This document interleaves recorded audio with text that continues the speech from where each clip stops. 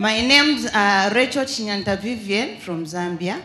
The problem that has brought me here is the problem of the back. I've got back pain, then I've got numbness to my left leg. Then I've got uh, the problem of constipation. It, I've really suffered. The things that I can't do, I can't squat, I can't stand for a long time, sit for a long time because of the pain. These are my medical reports that I was given. Watch on the screen. This is a medical report from Maina Soko Military Hospital in Zambia, which belongs to Sister Rachel Chinyanta. Here, the doctors examined her, and accordingly, she was diagnosed with compression and degeneration on L4, L5, and disc herniation. This is the lady.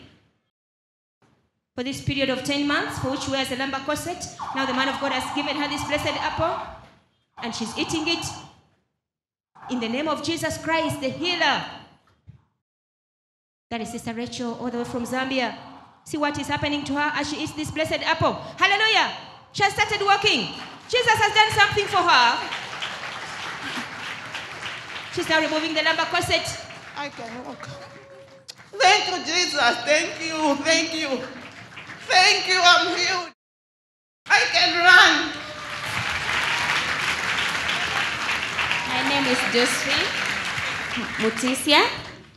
I got an accident. I was squeezed by two matatus on 2014. I was injured the two shoulders and the back pain. I'm using the corset and the crutch.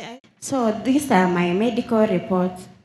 On the screen of your television is this medical report from the Department of Pathology, Radiology, Laboratory Medicine, Transfusion Services, and Immunohematology in Kenya, where they did an MRI of the lumbar spine of our sister Josephine Nthenya Mutisia.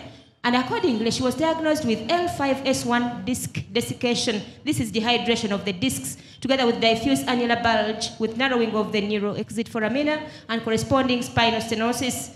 They also found that this is affecting L5S1 exiting nerve roots, and she also has lumbar subcutaneous edema. This was confirmed by Dr. Ajambo, the consultant radiologist.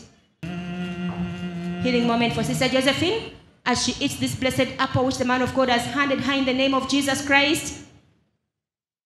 Remember, she came with support of a crutch. Same time, she wears a lumbar corset for support because of the pain she has in the back, in the shoulders, and in all her limbs. Watch and see what Jesus is doing for her. Watch, brethren. Watch the lady. She's stretching out her hands. Watch. The healing process is going on for her. She has risen up.